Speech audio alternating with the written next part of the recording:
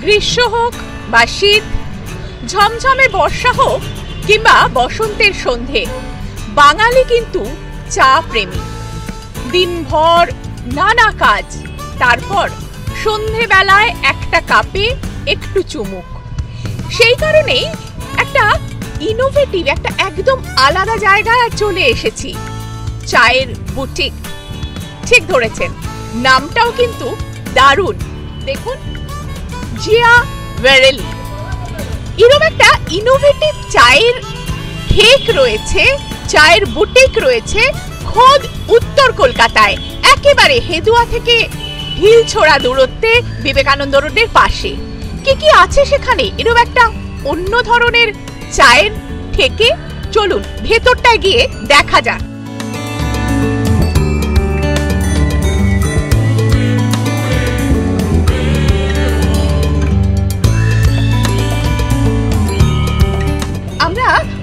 গিয়েছি জিয়া ভেরেলির ভেতরে। দেখতেই পাচ্ছেন, বিভিন্ন ধরনের চা রয়েছে এখানে। আর তার সঙ্গে রয়েছে খুব অপূর্ব একটা অন্দর শৈলী। দেখে বোঝা যাচ্ছে, পুরনো কলকাতার একটা বনেদিয়ানা, সেই বাড়ির অন্দরেই তৈরি হয়েছে এই চায়ের ঠেক।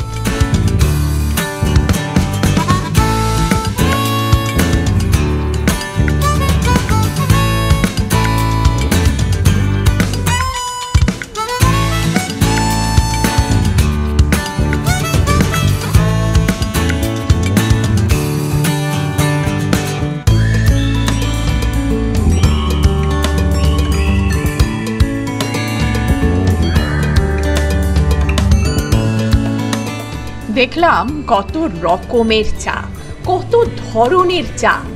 আচ্ছা এই চাগুলোর উৎস কি? কোনটার নামই বা কি? এটা নিয়ে কিন্তু আমি খুব কনফিউজড তাহলে জেনে নেওয়া যাক যারা এই টি বুটিকটার সূত্রপাত করেছেন, যারা এখানে সেটা স্থাপন করেছেন। সোজাসুজি চলে যাব তাদের সঙ্গে কথা বলতে।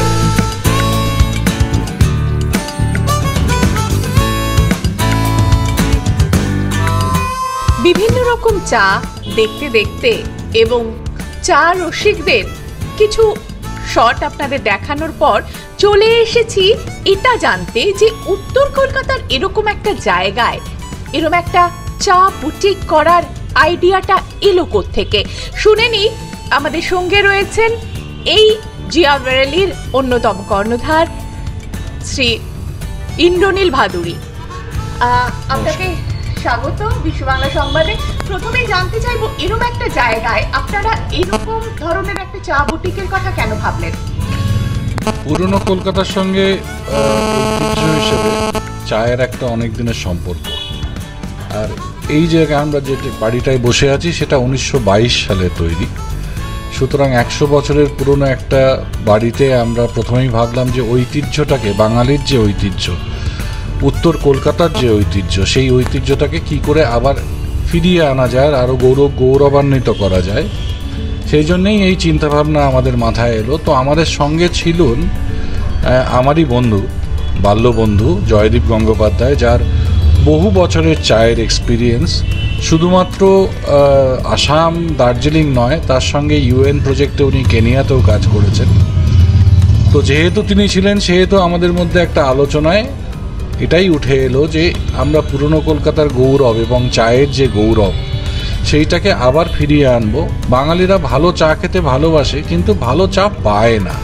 সেই ভালো চাটাকে যাতে আবার আমরা ফিরিয়ে আনতে পারি কলকাতা শহরে, সেই জন্যই এটা চিন্তা ভাবনা কিন্তু উত্তর কলকাতার সঙ্গে কিন্তু চায়ের সঙ্গে টা, অর্থাৎ তেলে ভাজা বা কিছু মুখরোচক স্ন্যাক্স তারও খুব ভালো একটা যোগ আছে। তো আপনারা সেরকম কিছু ভেবেছেন? আমরা এখানে উত্তর কলকাতায় যেটা চায়ের সঙ্গে টা তো আছেই কিছুটা, যেমন ফিশ অ্যান্ড চিপস যেগুলো আমাদের খুব ভালো লাগে। এর সঙ্গে আমরা যেটা শুরু করেছি, যে জন্য আমাদের প্রায় নামই হয়ে গেছে ডাফ স্ট্রিটে পার্ক স্ট্রিট সেটা হচ্ছে উত্তর কলকাতায় ভালো কন্টিনেন্টাল খাওয়ার জায়গা খুব একটা ছিল না। যে জন্য আমাদের এখানে খুব ভালো আমরা কন্টিনেন্টাল ডিশ সেটা এন্ট্রি লেভেলে হোক বা মেন ডিশের লেভেলে হোক ইভেন সিজলার্স এইটাও আমরা এখানে শুরু করেছি যাতে চা প্রেমীরা শুধুমাত্র চায়ে থেমে না থাকেন চা থেকে আরও এগিয়ে যেতে পারেন। আমরা দেখলাম বেশ অনেকটা জায়গা ছড়িয়েই রয়েছে এই টি শপ বা চায়ের ঠেক। তো ভবিষ্যতে কি আপনাদের এটাকে আরও বাড়ানো বা অন্য কোনো শাখার কোনো ইচ্ছে আছে পরিকল্পনা? অবশ্যই আছে। এটা আমাদের এইটা শুরু হয়েছে সবে। আমরা চেষ্টা করব কলকাতা শহর এবং কলকাতা শহর তলিতেও ছড়িয়ে যেতে। তাহলে জেনে নিলাম, এই উত্তর কলকাতায় বিবেকানন্দ রোডের কাছে জিয়াবেরেলি কিন্তু আটকে থাকবে না। সে ছড়িয়ে যাবে গ্রাম বাংলার কোণে কোণে। তবে এই যে চা, এত রকমের চা, এত ধরনের চা, বিভিন্ন রং, বিভিন্ন স্বাদ, তার অনেকের নামও কিন্তু আমি অন্তত জানি না। কিন্তু যিনি জানেন, এবার তার কাছে যাব।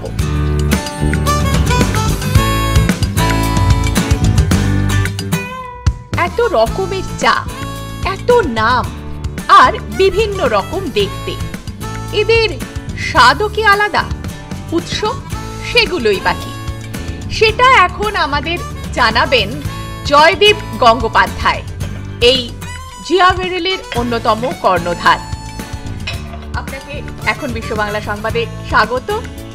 আমরা জানতে চাইব, এই যে আপনার এখানে বিভিন্ন রকমের চা এবং দেখছি তার বিভিন্ন রকমের নাম। তো এই নাম এবং চায়ের এরকম এটার কারণ কি এবং কোনটার কি নাম?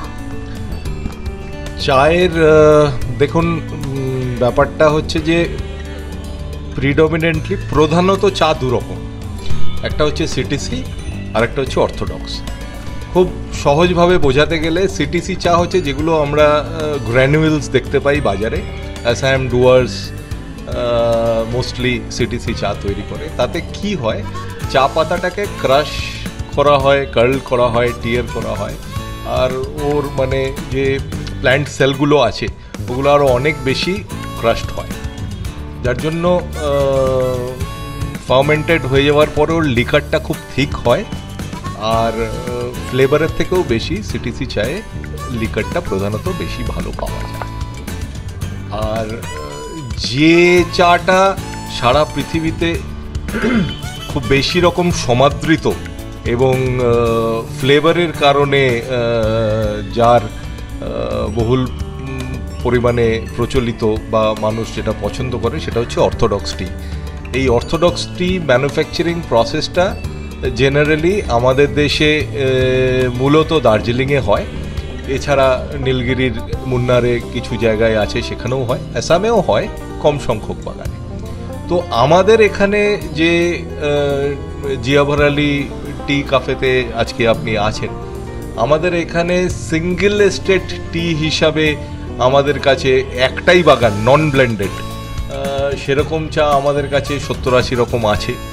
এবারে ব্লেন্ডেড চা, যেটা কিনা বাগান থেকেই হয়তো ব্লেন্ড হয়ে এসছে, বিভিন্ন গ্রেডের চা, সেরকম চা আরও ধরুন চল্লিশ, পঞ্চাশ রকম আছে। এবারে আমরা প্রয়োজন অনুযায়ী আমাদের চা ব্লেন্ড করতে পারি এবং করি, সেটা করলে পরে সংখ্যাটা আরও অনেক বেশি এগিয়ে যাবে। ধরে নিন দুশো, আড়াইশো, তিনশো রকম চা আমি আপনাকে এখানে এখনই খাওয়াতে পারি। সেরকম চা আমাদের এখানে মজুদ আছে। এই যে আমরা শুনেছি ফার্স্ট ফ্ল্যাশ সেকেন্ড ফ্ল্যাশ আজকাল আবার মুনলাইট টিও পাওয়া যাচ্ছে। তো এই ধরনের চা, এগুলোর কি আলাদা আলাদা বৈশিষ্ট্য রয়েছে? এই ধরনের চার আলাদা আলাদা বৈশিষ্ট্য আছে। আমি আপনাকে সেই চা আপনি দেখতে চাইলে দেখাতে পারি। দেখুন ফার্স্ট ফ্ল্যাশ সেকেন্ড ফ্ল্যাশটা খুব ইজি মনে রাখবার জন্য এবং বোঝবার জন্য। জেনারেলি আমরা সবাই জানি, এটা চা শিল্প এবং চা ব্যাপারটাও is nothing but an agriculture তো এই এগ্রিকালচারে একটা ডরমেন্ট পিরিয়ড শীতকালে থাকে যখন কোনো গাছই আর গ্রো করে না। শীতকালের পরে যখন বসন্ত আসে, বসন্ত সমাগমে স্প্রিংয়ে যে প্রথম চা পাতাগুলো চা গাছে পাওয়া যায় বা দেয়, সেটাকেই ফার্স্ট ফ্লাশ বলে। তারপরে একটা লাল পিরিয়ড যায়। ধরুন, মার্চ, এপ্রিল এই পিরিয়ডটাতে আমরা ফার্স্ট ফ্লাশ পাই। তারপরে মে, জুন এই প্রখর রৌদ্রে এরম গরমে একটা লাল পিরিয়ড যায়। তারপরে একটা আসে সেকেন্ড ফ্লাশ সেটাও খুবই ভালো চা এবং মাস্কেটাল ফ্লেভারটা আসে ওই সময়ে। তারপরে বৃষ্টি এসে যাওয়ার পর মনসুন তারপরে আবার শীতের আগে আগে অটাম ফ্লাশ যেটা কিনা আমরা অক্টোবর, নভেম্বর ওই পিরিয়ডটাতে পাই। এই মোটামুটিভাবে অর্থোডক্স চায়ের চারটে ফ্লাশ হয়। এ বাদে আমরা আপনি যেটা বলছেন মুনলাইট এই এই এই জিনিসটার মধ্যে কোনো মারাত্মক ব্যাপার নেই। ছোট্ট করে যদি বোঝানো যায়, তাহলে চাঁদের আকর্ষণ বিকর্ষণে যেরকম জোয়ার ভাটা হয়, এই ঘটনাটাও একদম সেম তার মানে যেদিন পূর্ণিমা রাত আছে, সেই পূর্ণিমার রাতে খুব স্বাভাবিকভাবেই চাঁদের আকর্ষণটা পৃথিবীর মাটিতে অনেক বেশি। তো গাছ, চা গাছ একটা প্ল্যান্ট তার রুট জোনে তার তার শিকড় বাকড়ের মধ্যেই তার খাদ্যটা থাকে স্টার্চ রিজার্ভটা থাকে। তো রাত্রেবেলা ওই আকর্ষণটা অনেক বেশি হওয়ার ফলে মুনলিট নাইটে পূর্ণিমার রাতে আপনার যে ওই জাইলেম ফ্লোয়েমের মাধ্যমে খাদ্যটা বা স্টার্চ রিজার্ভটা বেশি ওপরের দিকে উঠে আসে চাঁদের আকর্ষণে।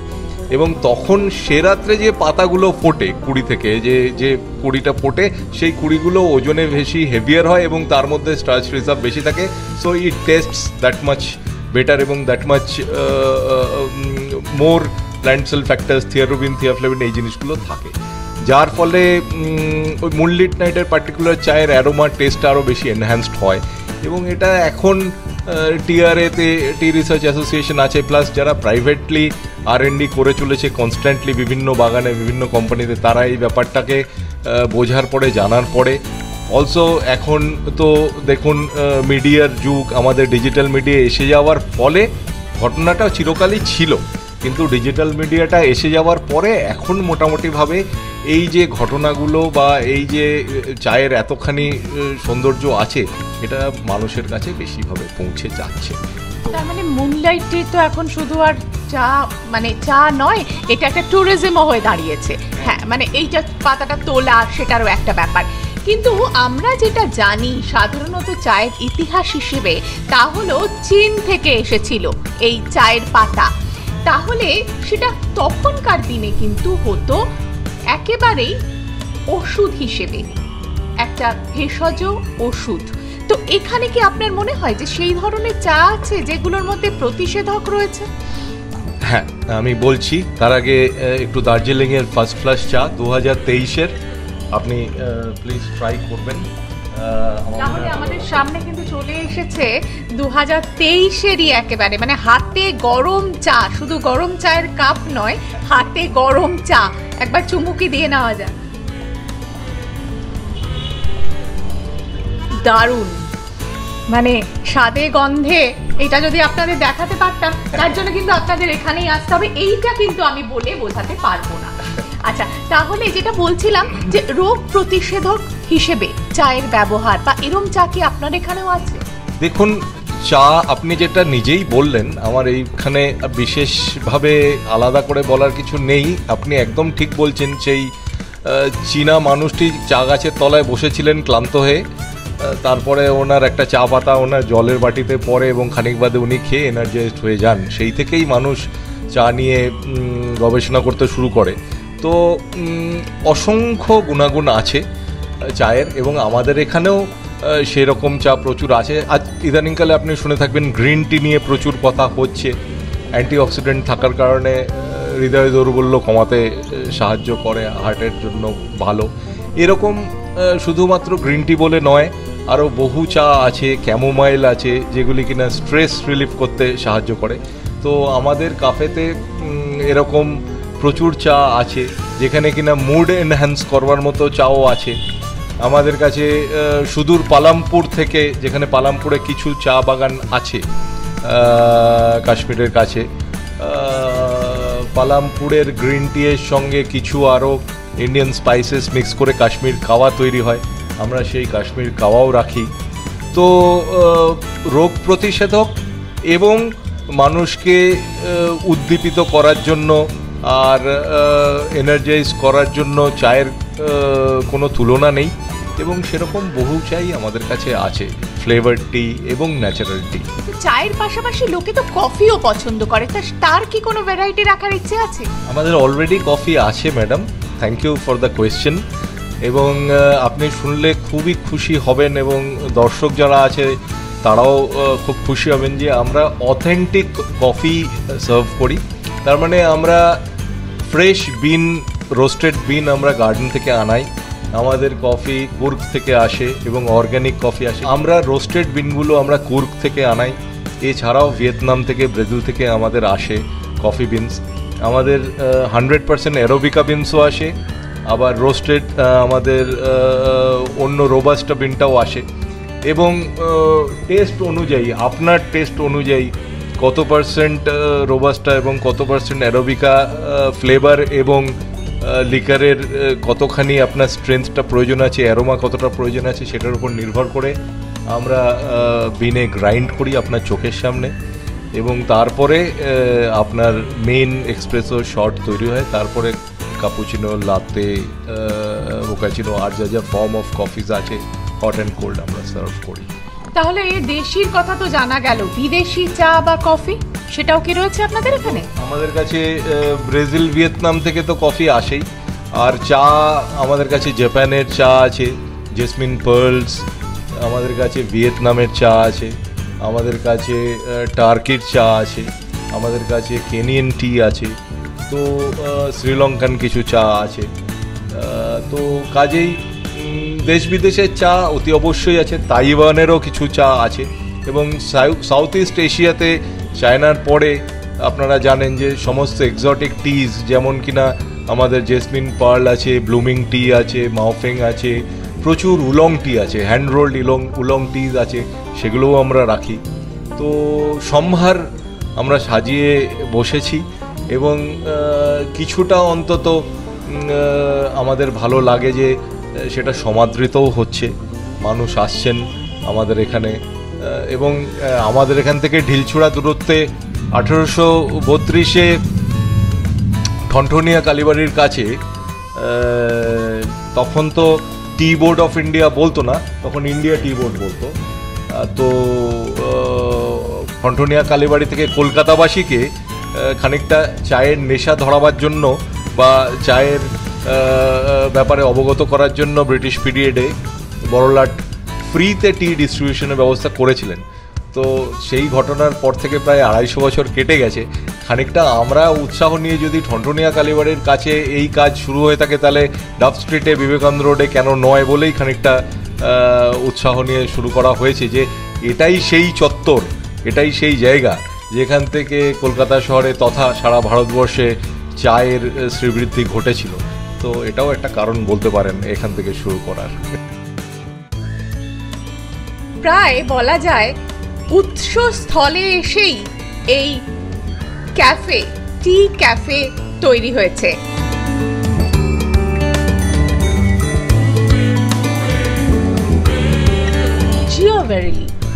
কীভাবে এলো নামটা? অ্যাজ এ টি প্ল্যান্টার আমার জীবনের অনেকটা সময় দার্জিলিং অ্যাসাম কেটেছে। অ্যাসাম আফ্রিকাতেও কেটেছে। তো যাই হোক, এই প্রায় দশ বছর আসামে ছিলাম। আমার একটা বাগান বরগ্যাং তার পাশ দিয়ে তেজপুরের কাছ দিয়ে জিয়াভারলি নদী বয়ে যেত। Assam is in its a beautiful river Assamese ভাষায় জিয়া ভরালি কথাটার মানে হচ্ছে জিয়া মানে মন, ভরালি মানে ভরানো। তো মন ভরানো। তো আমরা যখন এটা খুলি, তখন মনে হলো জিয়া ভরালি এমন একটা জায়গা যেখানে আপনি আসবেন, আপনার মনটা ভরে যাবে সেই থেকে জিয়া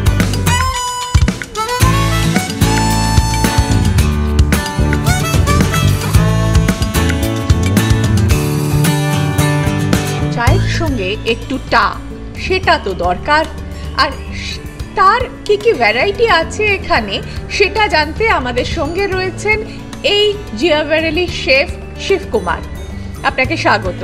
আপনি জানান যে এখানে কি কি খাবার পাওয়া যায়। চায়ের কথা তো আমরা শুনলামই। এখানে ma'am continental breakfast oriental Chinese আর ওরকম অনেক ভ্যারাইটির মধ্যে ফুড পাওয়া যায় মকটেলস টি ভ্যারাইটিস অনেক কিছু পাওয়া যায়। ডেজার্ট আচ্ছা এখানে এসে লোকে চায়ের সঙ্গে ঠিক বেশি কোনটা খেতে চান?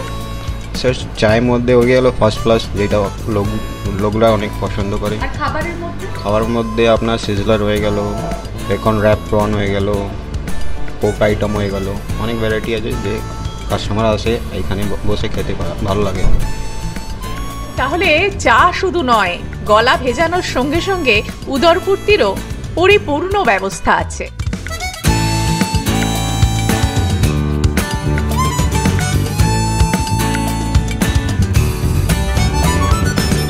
দেখালাম জিয়া ভেরেলি জানলাম কত রকমের চা রয়েছে এখানে, তাদের উৎসস্থলই বা কোথায়, সব জানলাম। আর জানলাম চায়ের সঙ্গে টায়ের ঠিকানা। অনেক কাজ হয়ে গেছে। এবার একটা মকটেলে একটু চুমুক দেব। হ্যাঁ এটা বলা হয়নি। চা, কফির সঙ্গে সঙ্গে জিয়া ভেরেলি কিন্তু মকটেলেও পারদর্শী। ক্যামেরায় দেবস্মিতের সঙ্গে জয়িতা, এখন বিশ্ব বাংলা সংবাদ।